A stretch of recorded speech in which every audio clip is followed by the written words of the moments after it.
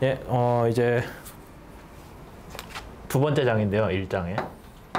여기서 배우는 거는 시스템이라고 해서 아마 앞으로 개라는 말을 쓰게 될 거예요. 네. 그러면 시스템이라는 건 뭐냐면은 우리가 뭐 다른 여러 가지를 배웠긴 했지만은 아까 외부 유동 있었잖아요.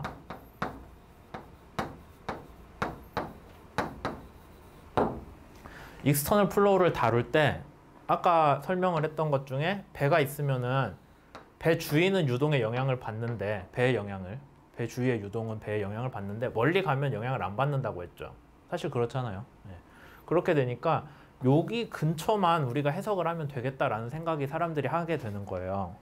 왜냐면은 뭔가 해석을 한다고 했을 때 멀리 떨어진 것까지 하면은 그만큼 해석하는 이 자원이 많이 필요하잖아요. 그러니까 그냥 주의만 해서 얘의 영향을 받는 데만 하면 참 좋겠다 라고 했는데 그래서 전체 유동 현상 중에서 일부만 우리가 떼어가지고 거기에 대한 유동 현상을 우리가 거기만 들여다보겠다라고 하는 게 시스템이 되는 거예요. 그래서 시스템이라는 게 정의가 뭐가 되냐면은 어떤 특정한 매스나 그러니까 질량으로 보시든 부피로 보시든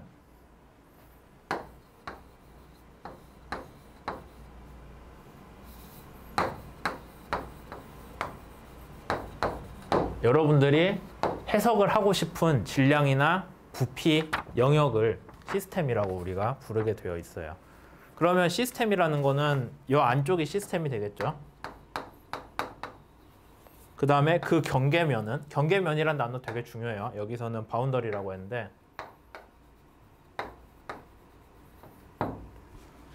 boundary가 따로 주어지고 그 다음에 그, 아, 그 boundary로 둘러싸인 데 안을 우리가 시스템이라고 불러요. 그럼 그 시스템은 우리가 어떻게 정의를 할 수 있냐면은 요 안에 있는 물 분자들 각각을 가지고 얘기를 할 수도 있고 질량에 대한 문제고요. 그 다음에 아니면 그냥 공간상으로 이 영역을 얘기할 수 있어요. 그럼 이 영역이라는 게 배가 앞으로 가면은 이 영역은 가만히 있을 거냐 아니면 배를 따라 같이 움직일 거냐까지 우리가 생각을 해볼 수 있겠죠.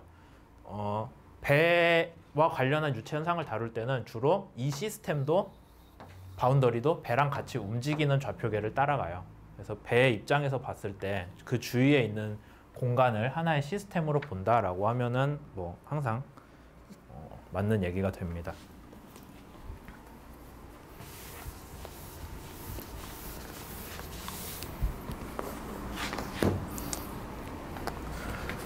어 이제 원래 고등학교 물리 시간에 배우는 건데 닫힌 개랑 열린 개가 있어요.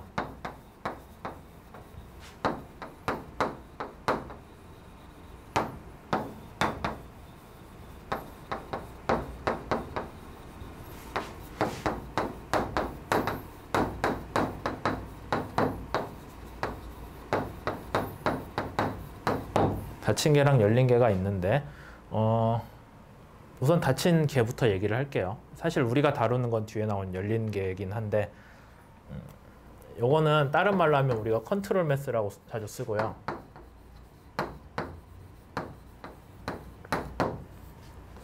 닫힌 개는 음, 그냥 대표적인 걸로 얘기를 하자면은 경계면을 통해서 뭔가 들락날락이 안 되는 경우가 물질이 경, 들락날락이 안 되는 경우가 닫힌 개라고 해요. 그래서 매스는 안 들어와지고 에너지는 들어올 수도 있어요. 에너지는 대표적인 닫힌 개로는 우리가 그냥 살고 있는 지구 같은 게 닫힌 개로 되게 대표적인 물론 뭐 운석이나 아니면 우주선 같은 것 때문에 물질이 조금 왔다 갔다 하는데 그거 없다고 치면은 에너지는 오죠 태양에서 그 다음에 그 지구가 갖고 있는 안에 있는 매스는 안 변하잖아요. 어디 가, 나가지 않으니까. 그래서 이런 게 이제 대표적인 닫힌 개라고 우리가 이해를 하고 있고요. 그래서 유체역학 해석에서는 닫힌 개를 잘 쓰지 않고 주로 쓰는 거는 열린 개를 씁니다. 이게 좀 내용이 어, 뒤로 가면은 이거 가지고 지금 이런 쓸데없는 얘기를 하고 있는 게 뒤에 가면은 여러분들이 되게 유체역학을 배우다가 포기하는 레이놀드 수송 정리까지 가거든요. 여기 concept이. 그래서 지금 시간을 들여서 따로 설명을 하고 있어요.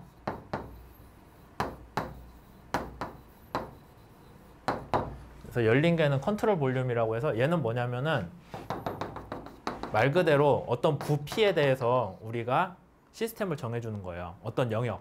그러니까 공간상에 부피를 가진 영역이기 때문에 여기에 대해서 질량이 왔다 갔다가 가능해요. 들어와도 되고 나가도 되고. 왜냐하면 컨트롤 매스에서는 우리가 어떤 분자들이 있다면은 그 분자들로 구성된 시스템을 생각을 한 거거든요.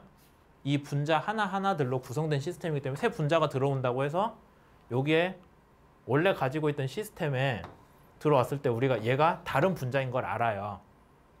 그런 상황인데 control volume은 뭐냐면 그냥 이 영역 안에 있는 애들 가지고 하겠다라는 거예요. 그러니까 영역만 중요하면 되기 때문에 들어오고 나가. 우리가 강의실 기준으로 하면은 control volume은 강의실 기준이에요. 그러면 강의실에 수업을 하면 누가 들어오고 누가 나가죠. 다음에 또 다음 시간표가 이거 다음 뭔지 모르겠지만 하여튼 한다면은 또 학생들이랑 교수랑 다 물갈이가 되잖아요. 그런 것들을 허용을 하는 게 컨트롤 볼륨이 되고요. 그 다음에 여러분들이 음, 어떤 학번 기준으로 하자. 지금 이거 수업 듣는 학생이 몇 학번이죠? 17? 16이야? 늙었네. 16학번이라고 하면은 16학번 전체가 어떤 강의실에 가는지는 중요하지 않죠. 16학번들 각각이 어디 어디 있는지를 알잖아요. 그러니까 그렇게 이해를 하자면은 닫힌 개라는 게 하나의 학번으로 구성되어 있는 사람들 그룹을 얘기를 하는 거고 열린 개 같은 거는 이 강의실 안에 있는 사람들로 우리가 정의를 할 수가 있는 거예요. 그럼 그 사람이 나가면은 나갔으면 이제 우리 신경 쓸 필요 없죠. 누가 새로 들어오면은 이 강의실에 사람이 들어왔다라고 해서 받아주는 거고 그렇게 해서 닫힌 개랑 열린 개랑을 서로 컨셉을 비교를 할 수가 있겠네요. 그거 말고 좀 극단적인 케이스가 하나 더 있거든요. 닫혀, 닫힌 개도 에너지는 오케이예요. 에너지는 왔다 갔다 할 수 있는데 그것보다 좀 더 극단적으로 가면 에너지도 왔다 갔다 할 수 없는 개가 있을 수도 있겠죠. 그런 거는 우리가 고립된 개라고 하는데 어, 일반적으로 우리가 잘 다루지는 않아요.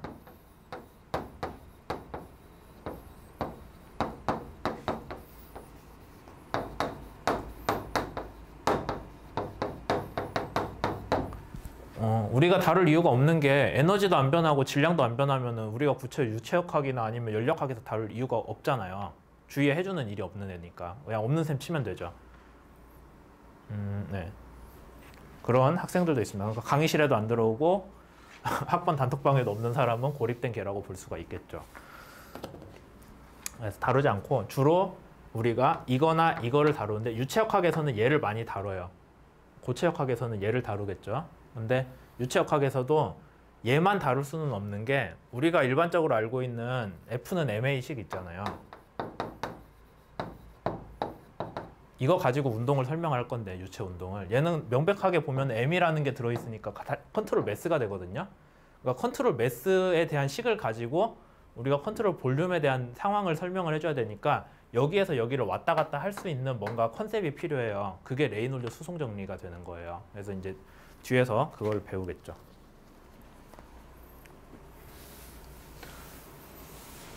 그러면 계까지 배웠고 그 다음에 두 가지 남았네요. 하나는 차원과 단위고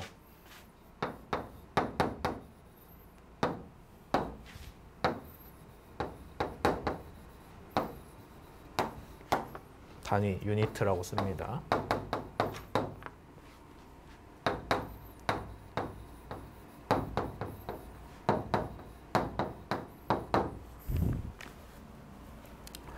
어, 차원과 단위는 여러분들이 유체역학 때 원래 초반에 배우는 건데 아까 우리가 압력 얘기했을 때 단위 얘기했었어요. 압력에 대해서 단위가 뭐가 있었어요? 뉴턴 퍼 미터 제곱을 기본으로 얘가 파스칼이었죠. 기압도 있었죠. 그 다음에 바라고도 있었죠. 그 다음에 어, 지금은 정말 안 쓰는데 옛날에는 어, 수은 뭐지 밀리미터 H진가? 혹시 들어봤어요? 수은주라고 해가지고 얘가 뭐냐면은 어, 이렇게 바구, 바가지에다가 위험하지만 수은을 가득 채워놔요.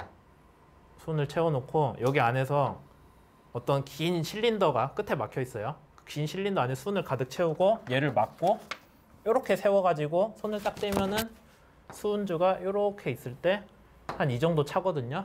위에는 진공이에요. 수온이 밑으로 쭉 밀고 내려오니까. 그렇게 됐을 때 얘는 진공이고 여기서 공기 압력으로 누르잖아요.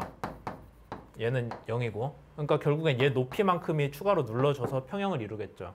그렇게 됐을 때 수온 기둥 높이 아니면은 수온 주라고 쓰거든요. 그게 일반적으로 일기압이 76mm 맞아요? 요새는 거의 안 쓰죠. 수온이라는 걸 인생에 볼 일이 별로 없잖아요. 위험하다고 수온 온도계도 못 쓰게 하는 대상이라. 그래서 76mm인가 하여튼 그런 단위도 있어요. 압력을 나타내는 게. 그래서 압력이라는 거는 차원이에요. 그럼 우리가 압력이란 차원을 다른 차원들로 설명을 하자면은 힘을 아, 압력이 뭐야? 힘을 면적으로 나눈 거야 라고 설명을 할 수 있겠죠. 그게 압력의 차원이에요. 그럼 힘은 우리가 1N은 어떻게 정의를 해요? 힘 단위인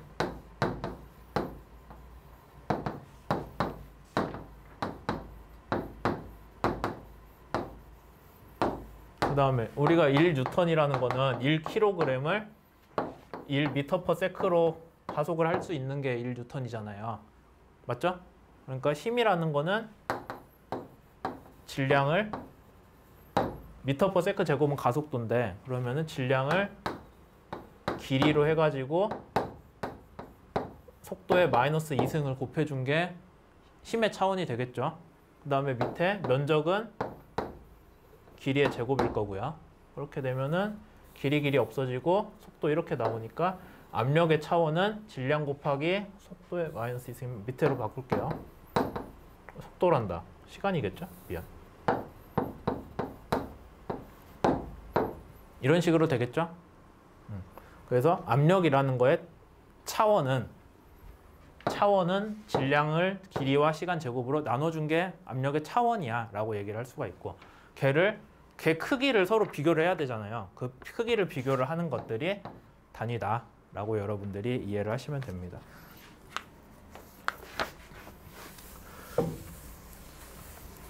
그래서 여기 수업 자료 보시면은 차원이랑 단위를 여러 가지를 써놨는데 어, 기본적으로 음, 우리가 쓰고 있는 단위계가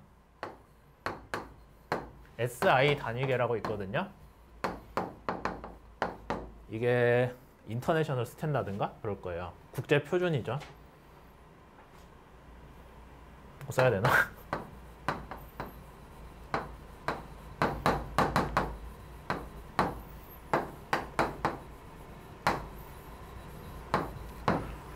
근데 International Standard면 IS인데 왜 SI냐면요. 이게 프랑스어거든요. 그래서 뭐 System International인가? 뭐 그따위로 쓸 거예요. 그래서 어, 원래 불어는 형용사가 뒤에 와요. 음. 어, 좀 더 쓸모없는 얘기를 하자면 여러분들도 잘 알고 있는 피파도 국제 축구 연맹이잖아요. 이게 Federal International이거든요. 예, 연맹 국제고 그 다음에 이거는 Football Association이에요. 축구 협회들의 국제 연맹인데 하여튼 거꾸로 가요. 뜻이. 그래서 SI 단위계도 어, 프랑스에서 먼저 정했기 때문에 SI 단위계라고 쓰고 있고요. 여기에서 단위계가 그럼 우리가 앞에서 압력 같은 거 얘기했을 때 길이, 속도, 아, 길이, 시간, 질량 세 가지 가지고 어떻게 만들 수 있었잖아요.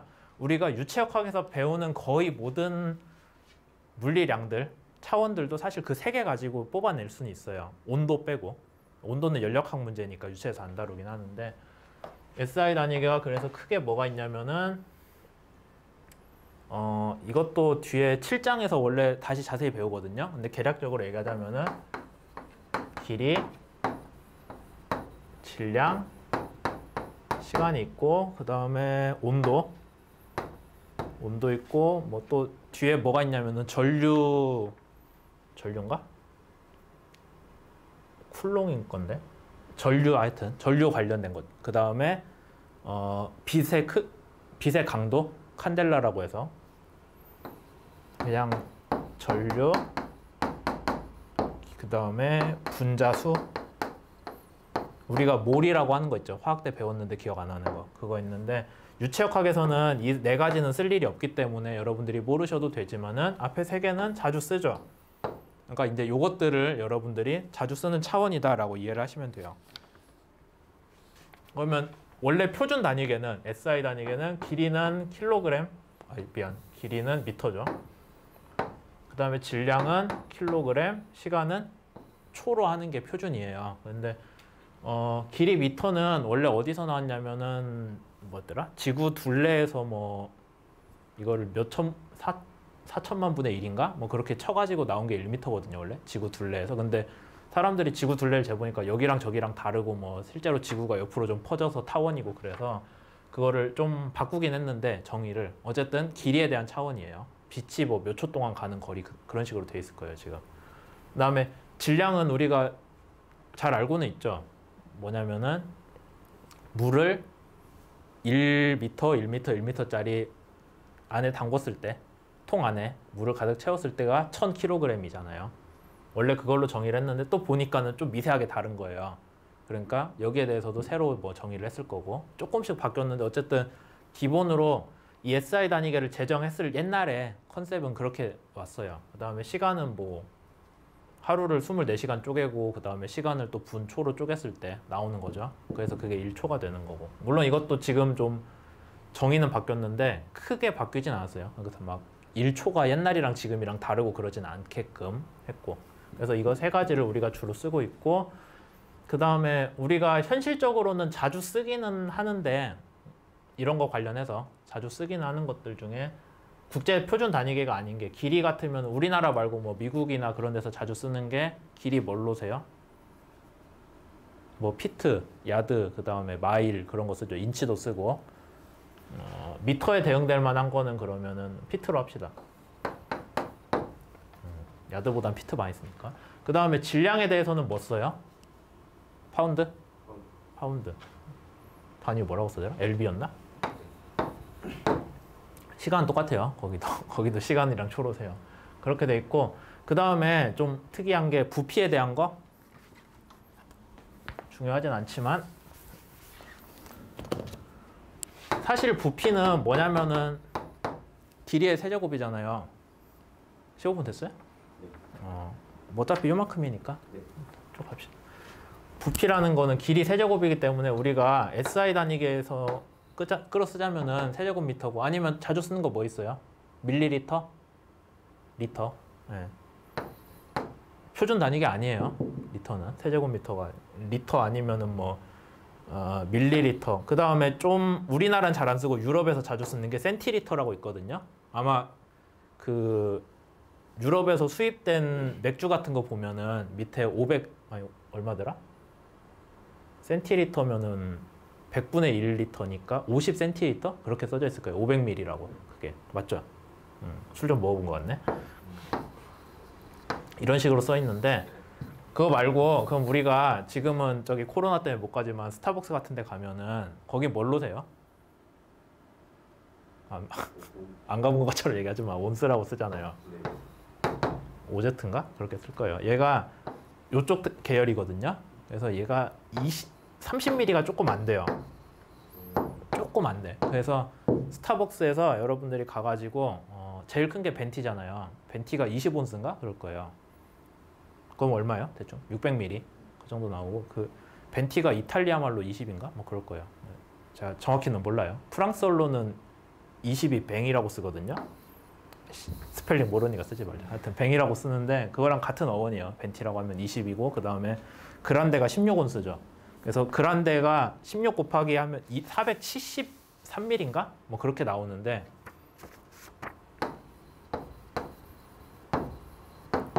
473mm인가? 뭐 근데 이게 밑에 보면 16온스라고 써져 있어요. 16온스로 잰 거예요.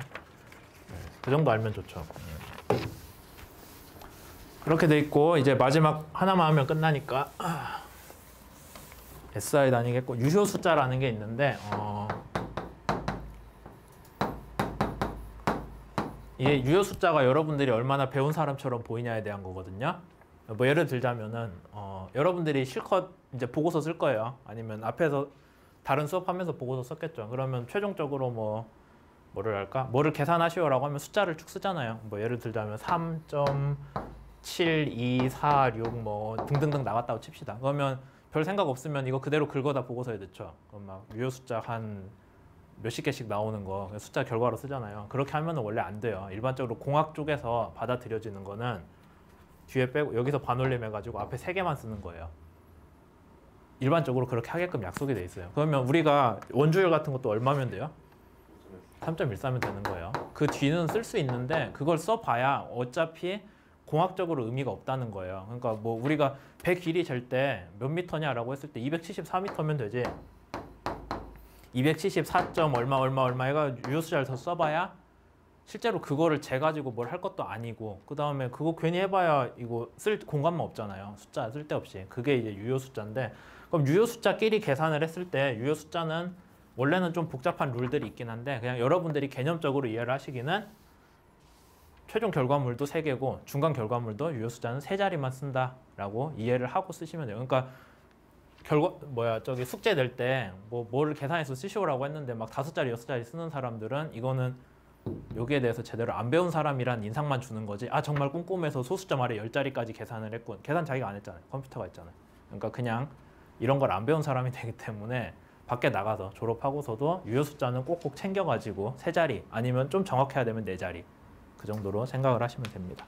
여기까지 할게요. 그러면.